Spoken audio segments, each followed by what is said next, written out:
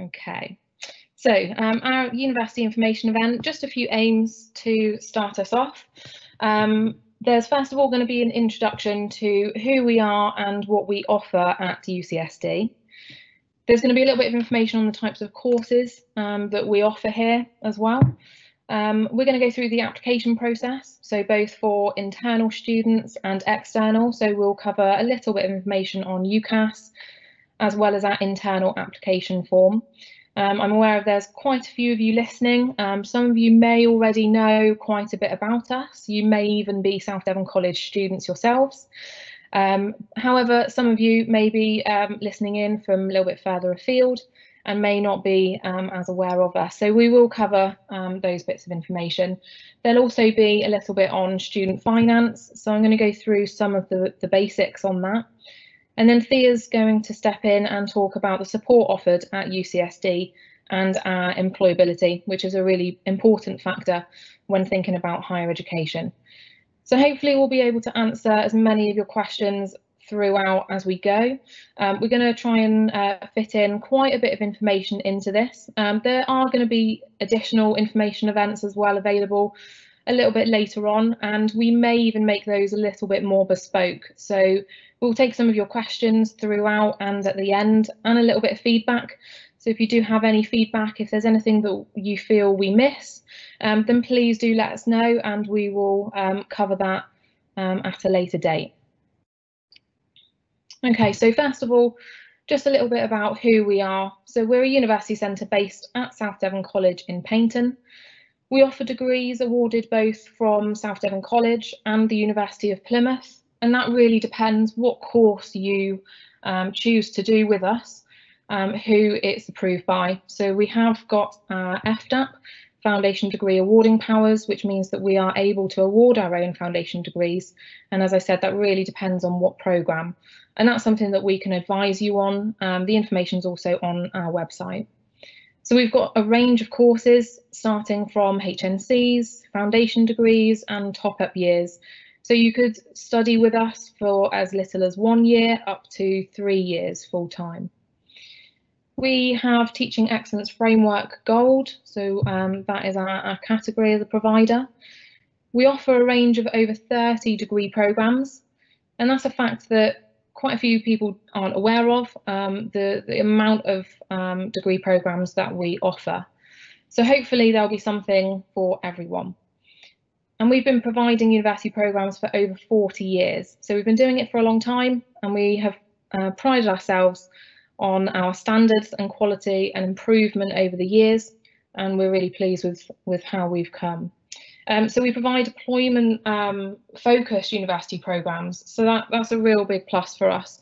We really try and um, provide those university programs in line with employers and employment throughout. So right from the very beginning when we're approving our programs and throughout, in order to maintain standards and quality, but also it's really important that during your study with us and at the end of the qualification, that you feel that you have developed as many skills as possible, not just coming out with a qualification, but you feel that you can go into the world of work um, during and, and after as well. So five reasons to study at University Centre South Devon. Um, those of you that are our current students might have already seen this around the college um, or potentially at bus stops um, around the local area. Um, but just to go through these reasons to study at UCSD. So the first is locality. So you'll not only be able to save money by staying closer to home, um, but also play a part in developing our local area as well. So the majority of our students are within the local area. However, we do have some that come um, further afield. Um, but that's a real big plus for us is that we really try um, and provide something close to home um, and I think during these circumstances, it's um, it's never been so important to have that opportunity on your doorstep. Number two is our support, um, and that's something that Thea is going to be discussing in a little bit more detail later on. But we're passionate about providing dedicated and bespoke support services. So we have a dedicated support hub um, available to you after enrolment. Number three is our accessibility. So our degrees are designed to be accessible for anyone, regardless of your personal circumstances. And that's quite a big part of my job, um, speaking to people and trying to break down any barriers that people feel they might have to entering higher education. Number four is our community, and this is a word that we use a lot um, before, during and after with our students. So we real, really believe that um, it's important to have that sense of community um, with your peers, so um, combining students with other courses, but also with our staff as well. And the number five is excellence. So when you put all of those reasons together, um, we are able to provide that excellent service and environment, um, giving you every opportunity to excel. So something that I um, always try and discuss and answer is what are foundation degrees? So this is a term that you might never have heard of, or you might have heard of it and are unsure what that means and whether you're searching for a course to do at the moment, finding out some more information, it's really important to know um, what foundation degrees are. So it's a degree level qualification, it's not lower than a degree level. It's equivalent to the first two years of an honours degree. And graduates can use letters after their names, FDSC, FDA, so depending whether it's a foundation degree of science or of arts. And then on successful completion, you have a guaranteed place on the final year of the equivalent honours degree with either us at UCSD or the University of Plymouth, depending what programme you're on. So you could either stop at a foundation degree and potentially go into the world of work if you wanted to, or you could continue with us or University of Plymouth and come out with that um, three-year full bachelor's degree. We do also have a range of um, higher and degree apprenticeships available. They're not available in every area, um, but some real key areas that we've been developing are in construction, engineering, healthcare, and one of our newest programmes working with children, young people and families, which started in January. And that's something that we can discuss more with you. So if you really wanted to find out more about earning whilst you learn, and this is, seems to be something that is more and more popular, um, and you, if maybe you just want to find out um, what kind of the difference is between doing an apprenticeship and coming in as a direct student, we can go through that with you. So we can arrange a one-to-one -one to discuss those options. Um, and we also have some more information on our website. I just really like to get this image in there. I think it's really nice to see um, that our students celebrate and you can celebrate after graduation at the end of any qualification with us. So whether that be a HNC after a year, a foundation degree, and then a full bachelor's degree. So if you wanted to, you could graduate twice, maybe even three times. So something that's really exciting um, and something really nice to be able to look forward to. Okay, so just wanted to show you a list of our courses. So these are some of our courses that we're providing this September. Um, this list is ever changing. We're constantly going through approvals for new and exciting programmes. Um, so if you're looking at September next year, 2021, um, it may well have expanded and amended slightly, um, but this is a current list for this September. So we have at the top our adventure leadership and sports coaching and fitness. And then we have a top up year, so a BSc in coaching, which means that you could stay with us if you wanted to for a full three years. And we've got two pathways in that one, so adventure leadership and sports coaching. We've then got our sciences, so animal science, biosciences, and a third year top up in applied animal science. And we've got some animals um, at University Centre South Devon. Um, so we've got some a nice range of animals based there, um, but we're also in close um, connection with Paignton Zoo, which is something that's really exciting. We've got quite a wide range of um, arts courses available, so contemporary arts practice, creative digital design, film and photography, games and interactive design, and illustration with graphics and animation. So hopefully something there to meet all of your arts needs and desires. We have our social science courses, so history with English, three different psychology programs with either counselling, criminology and sociology. So those ones are currently going through approval um, to be running this September. So some really exciting new changes there. And then we've got a third and final year in education, development and society.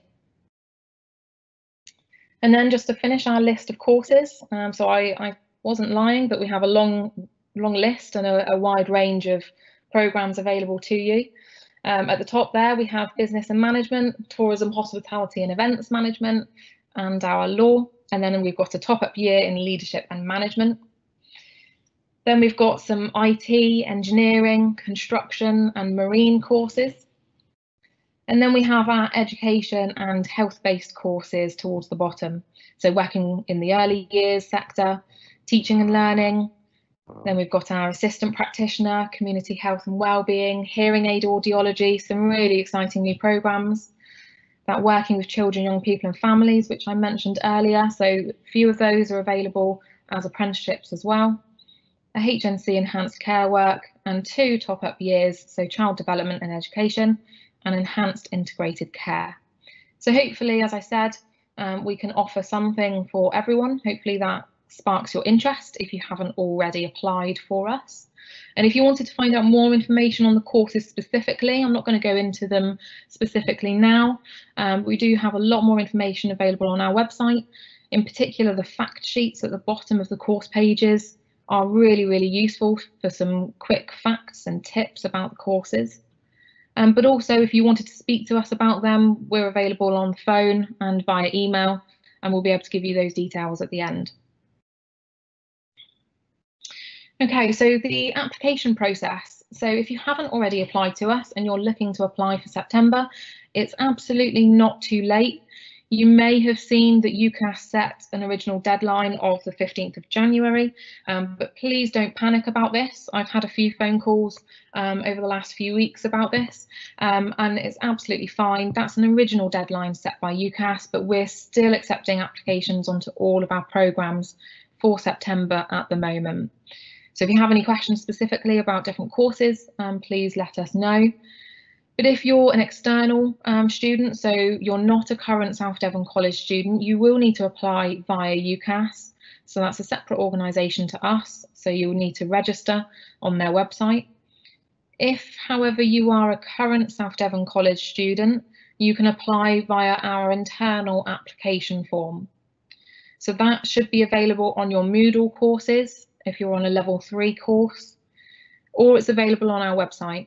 So it's a short online form, and this takes out the need to apply via UCAS. Um, you therefore don't need to pay um, or include a personal statement. And that's because we'll be liaising with your tutors um, as you are a current student with us. We provide one-to-one -one advice sessions um, on both of those elements. So if you're a little bit nervous about completing an online form or you've got any questions about it, um, you can arrange a one-to-one -one with us. So um, we're of course working virtually, um, but we're still available on the phone and via email. And if you're looking at part-time or apprenticeship options, um, then please do email us and we've got a separate paper-based application form for you. There's also more information on how to apply on our dedicated page on the website. So please do have a little look and, um, and explore if you haven't yet applied to us. So just moving on now to student finance. So I've got a, a few different slides on the basics of of student finance. Um, these are up-to-date facts and figures as of this month, as there's there's been a couple of changes this month to the student finance. Um, but all the up-to-date information, if there's anyone that's listening to this um, webinar at a later date, please do continue to have a look on the student finance website, so gov.uk forward slash student finance, to make sure you're looking at the, the most up-to-date um, data, facts and figures. So Student Finance England it provides financial support on behalf of the UK government to students from England entering higher education in the UK. I like to separate these into to two different areas. So you, you'll have two main costs whilst you're studying, and those will be tuition fees and living costs. So I'll be referring to them as a tuition fee loan and a maintenance loan. So there's student finance available to help you with both of these elements. Depending on your circumstances, you can also be eligible for extra financial help whilst you study, so such as a childcare grant or a um, disabled students allowance. Um, I'll touch on them briefly, um, but there's more information on Student Finance website about those. So the first section is going to be um, what student finance you can get, so um, what sort of things you might be eligible for. So starting with the tuition fees, um, it's worth, if you're having a look at um, different universities, if you're currently in a process of assessing um, what universities you're, you're wanting to consider, um, the fees, knowing the fees is really important um, and that should be um, a consideration for you. So our fees currently are 8,400 per year for a full-time course and pro rata for part-time. this is less than other institutions. Um, so it's, it's really worth having a look at those. So eligible students for tuition fees won't have to pay any tuition fees up front. So that's one of the, um, the barriers that I like to try and break down if possible um, for people thinking about entering higher education. It's not um, necessary for you to have any tuition fees um, up front at the start. Um, a tuition fee loan is available to cover the fee charged by your uni or college. Um, so you can see at the bottom there, it says up to 9,250 for full-time courses um, at a publicly funded uni or college, um, but that will vary depending on the university. So make sure you do have a look at those. The amount of tuition fee loan you get doesn't depend on your household income. And Student Finance England pay that loan directly to your uni or college. So that would go directly from them to us, that you therefore don't have to play that, that middle person um, during that process. So once you've applied and it's all been approved, um, then you shouldn't really have to worry too much about the tuition fee loan until perhaps this time next year when you're then applying for your next year um, at uni. Tuition fee loans do have to be repaid. It is a loan, um, but only once you've finished or left your course and your income is over the repayment threshold. So it's not necessarily an instant thing that you start repaying that loan. And that's something to, to have a look into, um, even though it may be early days for you, um, but just knowing how that repayment works um, is quite important, and I'll touch on it in a minute. So the maintenance loan, uh, you can get a maintenance loan to help with your living costs, such as rent. So this is the loan that gets paid to you directly. So whatever bank account you pop on your um, application to student finance. So all eligible students can get some maintenance support. That amount of maintenance support does depend. So the amount depends on where you live and where you study. Um, you can also apply for more based on your household income. So the maximum amount will be based on household income. Okay, and there are a few variations to that as well. So student finance have quite a long list um, of different variables. A really good way to have a little look about what sort of income you could um, be assessed on and therefore what loan you may be eligible for. Um, there's a student finance calculator on their website, so it's definitely worth having a little look at that. Um, perhaps that's really important um, for you to make up your, your decisions. So definitely have a look and see what sort of information they base that on. Um, and as I've said, it's then paid directly into your bank account each term. So it is in three instalments and this matches the tuition fee loan that is paid to your uni or college as well. So um, generally it's paid in September, January and then April, so three instalments. Maintenance loans, um, as like the tuition fee loans that I've mentioned, do have to be repaid, but again, not until you've finished or left your course and your income is again over the repayment threshold. So um, some maximum levels for the maintenance loan for 2020 to 21. Um, so there are a few different variables depending on what you're considering. So if you're at a parental home, so living at home whilst you study, you could be eligible for up to 7,747 per year. And then there's a couple of different um, elements, so living away from home outside of London and living away from home and studying in London. So you can just see how that differs.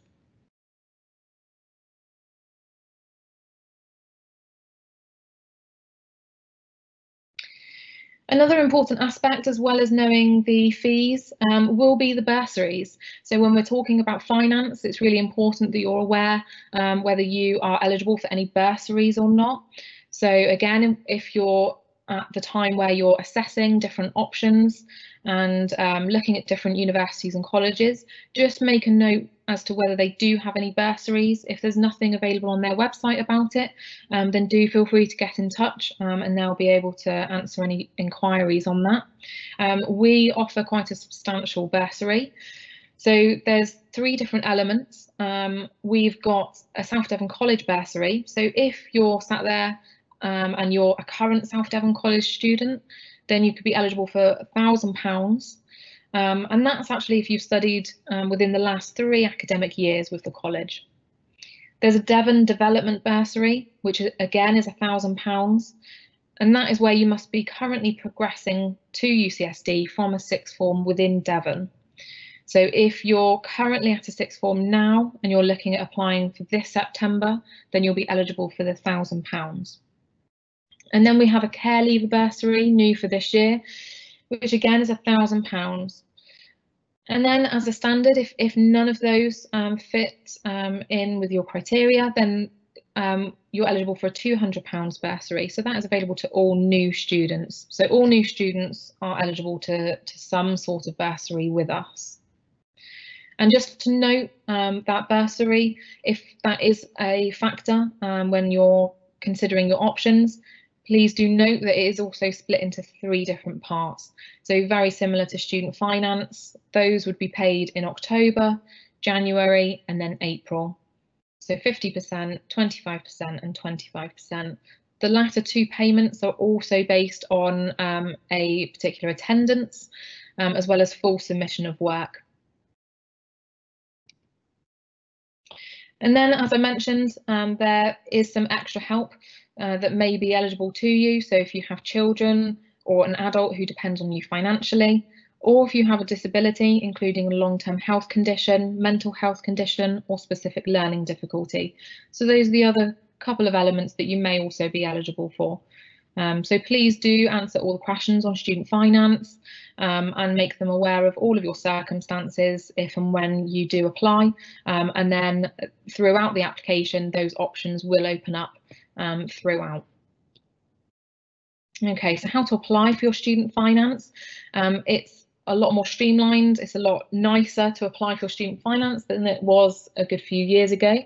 Um, so just a couple of questions here. Um, what is the easiest way to apply for your student finance? So the easiest way is online. So at gov.uk forward slash student finance. That is how student finance would, would ideally like you to apply. It's probably the quickest way to do it. Um, however, if you're unable to do it online, um, you can request for a form um, to be sent to you. Um, you can just download that form and, and send it back. When should you apply for your student finance? as soon as possible once the application service opens. So the application service is open now for student finance. It's been open for a few weeks. Um, and they recommend um, you applying before June to ensure that you can get your finance paid on time in September. Um, it generally takes about six weeks for them to go through and process applications. So it is best if you can apply for this as soon as possible. Um, and we're available as well if you do have any questions about that um, and perhaps can't get through to student finance. Um, we're more than happy to try and help you wherever possible. So student finance applications, um, so apply early to make sure your money is ready for the start of your course. Um, that's not a, a cut off. So if you if you do wait until um, perhaps the end of the summer, or you're a, you're a later applicant for whatever reason, um, there's no cut off for that student finance before the start of the course. Um, what it just means is that your payment, your first payment, may just be slightly delayed. Um, but it, uh, what I would recommend if you're a little bit later on in the year, perhaps listening to this um, or considering starting and haven't yet applied for your student finance, get in touch with us um, and we can support you through that um, to get that done as soon as possible. Um, just one thing to note, you don't need to a confirmed place at a uni or college in order to apply. So um, UCAS, of course, have moved back their deadlines um, to respond to unis until next month. Um, you can wait until then if you want to, of course, um, but we would recommend you still apply um, as soon as possible and pick your preferred place. Um, and you can later change the details on your student finance application if you need to. And again, we can support you with that. So just a little um, screenshot of what that government page looks like. So this is the one that you're looking at going to um, in order to apply. There's lots of different bits of information on there. Um, it's got the points that I have um, outlined, but in a lot more detail. So if you would like a little bit more reading on that, please do go to the website um, and just have, have a, a little look. Um, and then you can log into your account, register and start applying. The studentroom.co.uk is also a really good website um, that we recommend using. So again, lots of different information on student finance there. There's also some really useful information for parents and partners of people applying. So if we've got any parents um, that are listening at the moment um, or partners, then that's a really good page to have a look at um, and find out a little bit more information. There's also an Ask um, Student Finance England um, and their Twitter feed at the bottom of there as well, which again is really useful to have a look at. As well um, as those sites, UCAS actually has a lot of information on student finance as well. So especially if you've already made an application through UCAS and have grown quite comfortable with using the website, it might just be worth having a look on there. Um, and they've broken it down into some nice um, simple boxes so that you can just have a have a little flick through. Um, that does only show a handful of the boxes. There's a lot more information on there um, when you go on. So again, have a look have a look at UCAS. And um, how to support an application. So if if we have any um, parents that are listening at the moment, um, so if your child applies for student finance, you will give them your income details um, and that enables your child to get paid um, in kind of the, the simplest terms, um, but all the instructions will be given um, when your child applies on student finance and you'll be prompted and emailed to um, pop in your, your income details. So repaying your student loan, so this is something I mentioned a few minutes ago, and it is an important part of it um, and hopefully will help to break down any myths um, potentially about higher education and funding um, and break down any barriers. So how much do you know? So a couple more questions. Um, what will your student loan repayments be based on? Your future income. Okay, so I've mentioned um, earlier that it will be based on um, income being over a threshold, which I'll go through in a minute and how much do you need to earn before you start to repay? So this was the, the main element that changed only this month. There was talk about it for um, a few months before, and it's increasing in, in line with inflation. Um, so now it currently stands at £26,575 a year, um, and then you've got the monthly and weekly there as well. So a little bit more on repayments. So you won't make repayments, just to remind you, until your income is over the repayment threshold and you have finished your qualification um, or left the course. So if you study a full-time course, you will be due to start repaying in the April after graduating or leaving the course. Um, if, um, however, your income is over that repayment threshold. And then this is where it potentially starts to get a little bit more confusing, um, but this has been broken down quite nicely on their website as well. Um, but you'll repay um, a rate of 9% of your income over the threshold. And if your employee deductions will be made uh, from your pay through the HMRC tax system. If your income falls below that threshold, um, so if in the future, for whatever reason, that income does fall back below, your repayments will stop automatically. Any outstanding loan balance will be cancelled 30 years after entering repayment. So again, hopefully um, that is just answering um, a few potential myths or just questions about the student loan system. So our student loan repayments, um, here's just a, um, a table to demonstrate. Um, hopefully it's a little bit easier to kind of see how much that repayment could be. These are just approximate repayments um, that we've got, we've been given from Student Loan Company. So you can see the new income um, threshold is 26,575. Um, and then between there and 27 starts at £3 monthly repayment. And it does, of course, go up um, the more you're earning. Okay, so if you have any specific questions about that, um, of course, do ask us. Um, but Students Loan Company will answer any questions about that. And as I've mentioned, there's a lot more in detail um, information on their website as well. So some key points to remember, that's quite a lot of information um, and I try to condense it um, as much as possible and cover those um, key, key factors. But just to remind you, tuition fee loan is available to all eligible students. Um, research all finance available to you. So um, remember I said about the bursary available. So I've gone through the UCSD bursary, but do compare that to other unis and colleges if you are at that stage at the moment.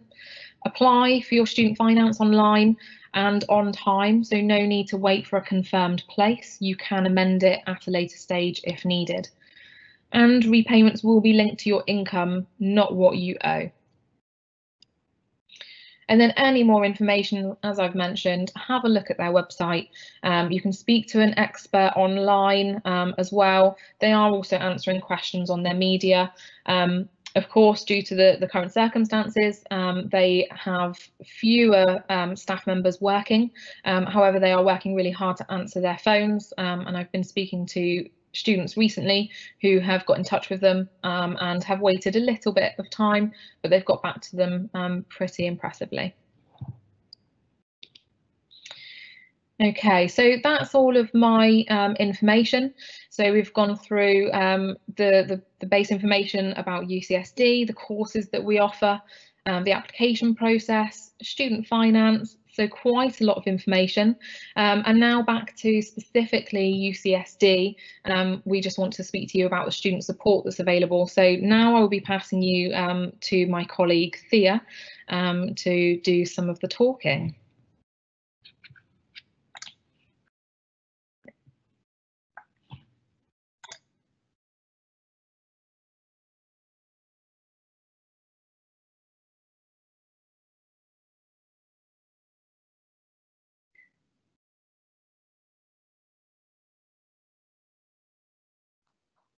Hello, yes. Um, so my name is, um, is Thea, as Lauren has introduced. So I am the um, Senior Employability and Enterprise Coordinator at UCSD. So I'm going to talk to you a little bit about student support um, and then a little bit kind of more specifically about employability. Um, so just uh, to introduce you, so in terms of student support, um, so we have got a dedicated student support hub um, at UCSD, which provides um, a range of support for students, um, all stages. In some cases, um, you might meet them before you come to us and kind of as you through the application stage. And certainly in some cases, in, in my case, I support students once they've graduated as well in terms of kind of looking for, for jobs. so it includes things like academic support, so that's things like referencing, researching, study skills, or things like time management, uh, also disability and well-being, so including mental health and counselling, um, and then also employability. Um, and support is also available um, kind of as part of the student support hub and as part of the wider HE team as well with things like funding so if you speak to um you speak to Lauren about also things like academic regulations and extenuating circumstances um so the support is is very much it's very flexible and very tailored to students' needs. Um, so we have bookable one-to-one tutorials, sometimes it's drop-ins, um, sometimes program teams will organise for a member of the support hub to, to go in and talk to um, a group about a specific um, topic um, or work with them kind of over a series of weeks um, to kind of build their confidence with, with certain topics or address certain issues. And also, um, you as a once you're a student as well, you, you can request extra support to, to manage your studies um, or kind of help maintain your mental health and well-being. And there's lots of kind of dedicated um, support that can that can be put in place to support you um, throughout your time with us um, and beyond. Um, but moving on specifically to um, employability, which is is my area. So um, in terms of uh, kind of choosing to study higher education, um, so a big pull for a lot of people um, especially maybe for those kind of career changes or those that have maybe had time out of education. Uh, a big reason is, is an opportunity to improve your career prospects um, and also increase your earning potential. So there's um, kind of research out there. Um, data was published um, by the Department for Education in April 2019 um, and showed that in 2018, uh, working age graduates earned um, £10,000 more uh, than non-graduates and also had higher employment rates. Um, so it's definitely um, kind of an attractive pool for people that are looking, um, whether they have a clear idea in mind of, of, where they want to go in their career or whether they're looking to, to kind of help explore their options.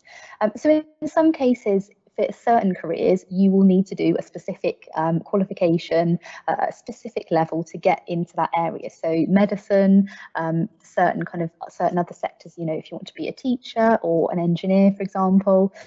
Um, but doing a higher education qualification at any level can actually open doors beyond the more obvious career opportunities. So there's a resource that I often share with students um, kind of from day one really and also when we're kind of working more with students that are be soon graduating um, is um, Prospects, which is a graduate kind of organisation supporting graduates. They've got a resource called What Can I Do with My Degree?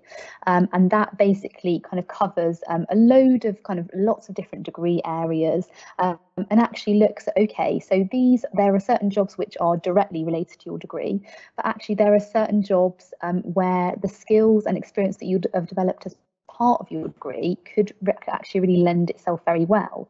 Um, because as part of your degree, it's not just kind of writing assignments. Um, obviously, that is that is a big part, and, and the assignments and the kind of learning part is is a big part. But also through that, you're developing and applying your knowledge. Um, you're gaining kind of specialist skills, um, kind of specialist to your subject area, but also transferable skills. So communication, presentation, um, maybe figuring out what sort of things you do and don't like. So for some of our students, it might be that they have to start doing some presentations and they think I do not like public speaking, but therefore that kind of helps them then think kind of going forward. They would then not look for a career in which they would need to be doing a lot of public speaking.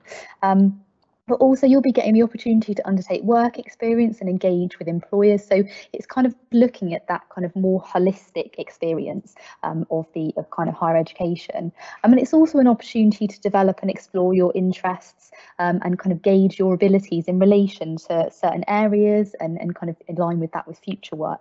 And then also kind of how you can how to get there. So looking specifically at your course, um, so there's obviously kind of the, the wider um, activities that you'll be undertaking, but also specifically in your course, employability is embedded in lots of different ways. Um, and it's all working to support students to develop those kind of relevant skills, the knowledge, the attributes and, and the experience, which are going to lend itself well to um, careers within that area, but also in kind of the broader jobs market. So there might be things like assessments which um, kind of emulate or simulate the sort of work that you might be undertaking um, within kind of particular roles. It could be trips and visits, you could have guest speakers coming in to talk to you about certain employers or certain lines of work, uh, practical activities. Um, and I always really say to students, even kind of before they start with us, actually, it's really important to make the most of these opportunities and use them as an opportunity to explore maybe what you like, what your strengths, what your weaknesses are, and also reflect on okay, what you know, what you're developing, um, because that's going to really help you when you're kind of supporting, you know, when you're working towards your career aims, and, and give you a really good idea of what you might be suited to. Um, it might even change your mind on certain things. I know I speak to some students, and, and they definitely find that they come in thinking one thing, uh, they want want to go in down one path, and actually then they maybe change their mind, or they realise that they're not suited to that, or or something. Um, and also, a degree on its own isn't enough to land you your dream job nowadays. Um, so actually, there's it's thinking about um, those kind of wider um, activities and, and being able to really demonstrate um, how you're capable. So being able to kind of refer to examples through your degree um, and kind of from other experience that you might have gained around or previously to your degree. So that's it from me. Um, so thank you for listening to my section. I will hand over um, to, well, we'll kind of open for, for any questions now. Um, and I think Lauren might um, possibly be needing to answer some more of these than me. Um, but Lauren, we did have a question which I spotted in the Q&A around um, funding for people that have already got a BSc, for example, that might want to retrain. I said around uh, students usually aren't eligible if they've already received funding at a certain level, but maybe you can provide a bit more information. Yes, yeah, thank you, Thea. Um, yeah, no, you're absolutely right. Um, as a standard, um, student finance won't fund you to do an additional um, higher education course. So it's normally the case if you already hold a BSc that student finance wouldn't fund you again. Um, however, there are some um, some alternatives. Um, so it does really depend on what course you studied and when you studied it. So my advice um, isn't just a blanket no, um, it's a probably no, um, but do please check with student finance. So um, I have written on there um, the student finance number. So I would recommend just giving them a call and they'll have they should have your details um, on on record um, of what you studied. Um, if they don't, then just give them those details and they'll be able to tell you exactly how much funding you have remaining, if any. Um, so I think that's that's probably the, the best advice that we'd be able to give on that one. But yeah, really good question. Thank you. Um, I think we had another question on um, do you do paramedic apprenticeships, which again, Thea, you answered, um, which unfortunately we don't do specific paramedic courses, um, but you've linked to the health programmes, um, which is exactly what I would have done. So um, it would be worth having a look at the closest one, which is our assistant practitioner, but it might also be worth just having a look at where does those specific apprenticeships and paramedic degrees. Um, and the other question, the first one we had, um, will the info be available to download after today's webinar? I should have said that at the beginning. Um, yes, absolutely. This is all recorded and a link will be available on the website. Um, so yes, definitely. Um, I have asked if there are any more questions, but I don't think we do at the moment. No, doesn't look like it. Um, Thea, did you uh, think of any when I was talking? Um, I don't think so. I think you, no. you covered everything very thoroughly. Perfect. We'll go with that then. um, brilliant. I mean, if, if anyone does have any questions, um, please do um, pop up. I think, um, Thea, you're live with the PowerPoint. If you just go on to the okay. next slide. Okay. Yeah, so um, please do send us an email um, to university at southdevon.ac.uk. Um, that was that one is being checked daily by our administrator um, and will be sent on to the relevant person to answer any questions.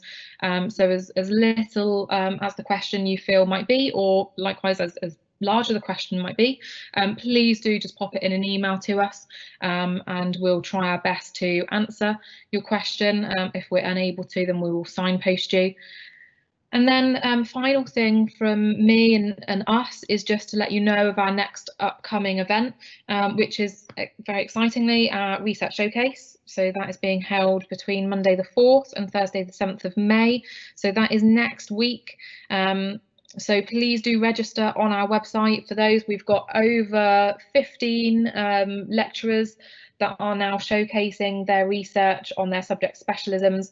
Um, so something that's really exciting um, if you're starting with us in September, if you've already applied, if you haven't quite yet decided, um, those are some really great opportunities to be part of um, a talk that is of interest to you um, and also a great opportunity to listen to our fabulous um, lecturers um, talking about their first-hand research.